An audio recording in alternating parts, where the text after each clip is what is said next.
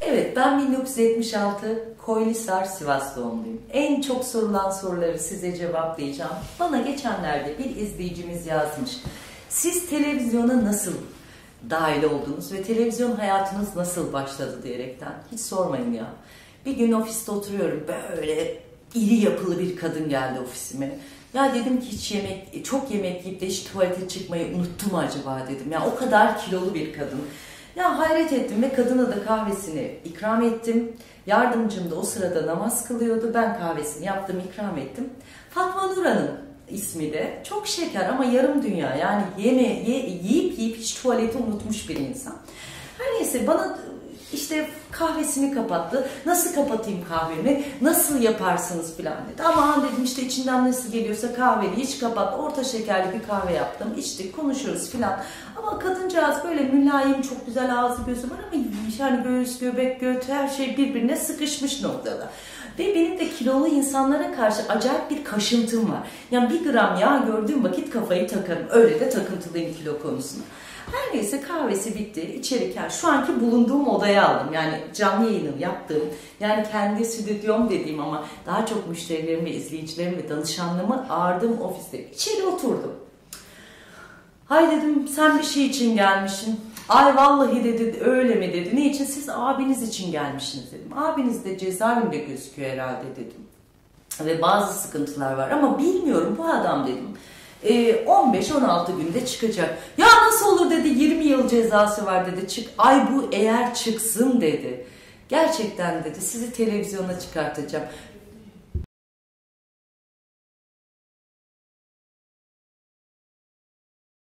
E, Fatma Nurcuğum ne için geldi belli oldu. 16 gün sonra bu e, yememiş yarım dünya olan Fatma Nur koşa falında ne dediysem ya da fincanında ne gördüysem tak tak söyle. Bu da dedi ki seni televizyona çıkartacağım dedi. Ama dedi falın çıkması lazım dedi. Ama benim derdim derdimden ne televizyonu kardeşim çocuğumun parası sıkıntılar ön planda oğlum bakıcısında bir, bir hayvuşum var maşallah ona parasını vermezsen çocukla vık vık vık yapar. Yani ama dünya tatlısıdır hala 14 yıldır 15 yıldır hayatımızdadır ama ona parayı verince susar ama parayı götürmediği zaman çocuğu da görme şansınız var. Her neyse aradan bir ay mı geçti, ya çok hatırlamıyorum tabii 15 gün mü geçti, 20 gün mü geçti. Tekrar o tontiş, o güzel gözlü ama yarım dünya, arkayı saymıyoruz, yüz muhteşem güzel. Abi kadın içeri girdi, seni televizyona çıkartacağım dedi. Ay dedim şimdi de insanlar o kadar çok şey vaatler verdi ki sen muhteşem falcısın, şöylesin, böylesin, şunu da yaparız, bunu da yaparız, o olmadı bunu da yaparız, onu da ararız, bunu da ararız. Artık o kadar insanlara inancım kalmamış ki. Yani Fatma Nur'un buraya gelip beni televizyon anlaşması yaptığını bile farkındayım. Öyle bir şeye de inanmıyorum zaten. Her neyse dedi ki e, hadi kalk gidiyoruz. Nereye? Sinebeş'in oraya. Ya ta iki telliye. Yani benim Taksim'den iki telliye gitmem demek buradaki gelecek müşterim bir sürü borçlarım var. Bu borçları nasıl halledeceğim? Her neyse gittik televizyona. Beni oturttu. Yine bizim, bizim şöyle bir şey var. Al televizyon seni tepe tepe kullan olayı var. Yani bana demiyorlar ki tarot açacaksın, kahve bakacaksın, telefondan izleyiciler aranacak, şu olacak. Beni oturttular bir televizyonun karşısına. Gerçekten oturuyorum ama bir tane kameraman var. Kamerama bakıyorum, gülüyorum yani. Ne anlatacağımı bilmiyorum. Her neyse bu hanımefendi gerçekten sözünü tuttu. Çok iyi bir kankam artık. İnanılmaz. Onun özel hayatını çok rahat paylaşabiliyorum. Neden paylaşabiliyorum? Onunla gerçekten çok uzun yıllar e, program yaptık ve hep her programında reji olarak yanımdaydı. Her zaman Fatma Nur'a çok teşekkür ediyorum ve sözünün de eriymiş beni, beni ben yapan. Aslında ben çok yetenekliyim ama benim bir tarafından keşfetilmeye ihtiyacım var. Hep keşfetmek isteyenler e, hallederiz hallederiz dedi ama bu kızcağız gerçekten öyle bir halletti hem benden pay aldı hem beni en iyi noktalara ulaştırdı. Her neyse Viva'da başladık. Viva Gala gündüz saat tarotlar bakıyoruz. Ay arayan arayana, arayan arayana hiç bitmiyor. Ben dakikada şöyle söyleyeyim. Millet dakikasını bir dakika bir, bin dakika yapıyor. Ben beş bin altı bin dakika. Her dakika full time. Beni bir de akşama çaktılar. Gündüz ayrı program, akşam ayrı bir program. Meğersem hani komisyon oluyor. Ben ayda alacağım maaşa bakıyorum. 3000 lira alacağım da şunu ödeyeceğim, bunu ödeyeceğim. Yani onların ne kazandığı ya da ne kadar kazandığı ile ilgili hiçbir bilgim yok. Bana maaş veriyorlar. Ben o kadar mutluyum ki 3000 lira kiramı öderim, çocuğumu rahat öderim. Bir sürü borçlar var arkamda. Ondan bundan almışım. Gelen giden para istiyor. O kadar zor ki. Her neyse Flash TV, pardon bir gün böyle Viva'dayım. Biraz popom da kalkmış artık yani çok biliniyorum. Herkes tarafından seviliyorum filan egom var ama yine mütevaziliğim hayatta devam ediyor. Çünkü bana ait bir hayat var. Bakmakla yükümlü olduğum bir evladım var. Yani hani hayale koşacağına gerçeklerle yaşaman lazım. Çünkü ben gerçekleri her zaman kabul etmiş bir insanım. Bir gün açtım böyle televizyonu. Televizyondan da çıkmışım Viva'dan artık sıkılmışım yani nedir o, o televizyon kanalında çık çık çıkıp fal bak, tarot bak, kahve bak. Bir baktım rüyanız hayır olsun yazıyor. İçimden dedim ki Allah'ım ben bu kanalda olmalıyım. Ben bu kanalı istiyorum dedim. Yani ben Flash TV ne seyretmişim, ne görmüşüm. Bir gün işte canlı yayından çıktım. Televizyonda ne var dedim. Bir baktım Flash TV'de bir tane rüyanız hayır olsun yazıyor. Ay dedim kız bağırıyor sarışın böyle hatlar bomboş kimse yok. Ah dedim tam bana göre koltuğa uzan yat gelenle konuş gidenle konuş. Abi ben Flash TV'de Hüseyin Bey'in kapısına gittim. Sizinle çalışamayız hiçbir artınız yok dedi adam bana. Ulan benim bir ağrıma gitti. Beni dinlemedi. Benim nasıl bir program yapacağımı Fatma Nurcum var ya yarım dünyam güzel gözlü nur yüzlü Fatma Nur'um çok seviyorum. Hayatta sağlık huzur mutluluk ver Fatma Nur'a dedim ki kız Flash TV'ye çıkacağız artık. Ara dedim ne yap ne televizyona çıkacağız o kanalı istiyorum. dedim. Gerçekten de böyle inada gittim. Gururum ruhum oranın baş sahibi beni kovuyor ama ben hala oraya girmekle inatçıyım ve Fatma Nur'a sonsuz güveniyorum. Çünkü arkamda tek duran kadın e, Flash TV'ye başladım. İlk gün 5000 dakika, 3 gün önce bağıran kadın hatlar bomboş derken gerçekten 300-400 kişi arıyor. Ben 5000 dakika yapmışım. Ama farkında değilim. Yine bana e, önüme bir tane kameraman koydular. Dedim ki kardeşim ben kameraman falan istemiyorum.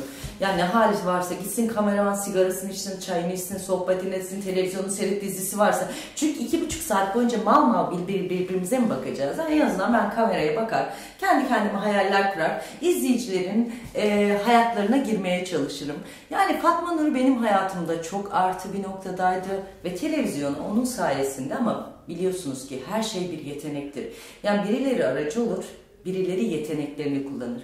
Ben hissiyatım ve Allah'ın bana verdiği bir duru göre evet yıllarca televizyonda program yaptım. Evet aracılarımız vardı. Fatma Nur Bostan çok seviyorum. İyi ki tanımışım. iyi ki varsın. Zayıflıyorsun buna da inanıyorum. Kilolulara karşı bir e, antipatim var mı diye soracak olursanız hayır yok ama ben hep şey derim çok kilolu olmayayım ki mezarımı taşıyan kişi tabutumu taşıyan kişi ulan bu karı da yememiş bilmem yemiş bilmem ne yapmasın diye hep zayıf kalmak isterim. Çünkü ölülü vücudunuz düşünseniz 50 kilosunuz öldükten sonra bir 30 kilo daha ayrı 80 kilo öte. Düşünün 100 kilosunuz 200 kilo taşıyacak. O yüzden belki de takıntılarım var. yani yoksa problem değil. Herkes yiyebilir, herkes eğlenebilir, herkes mutlu olabilir. O yüzden Devamını da anlatacağım ama hayatta kendim evet Fatma Nur ne kadar benim hayatıma renk kattıysa bu yaptığım her şeyin altında kendi imzamdır.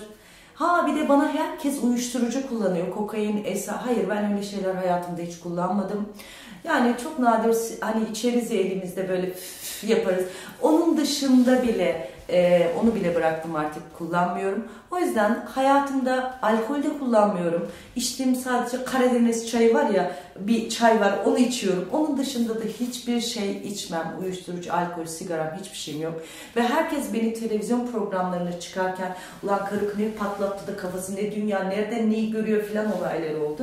Ve arayan insanların hep fake olduklarını, fake arayanlar olduklarını düşündüler. Hayır.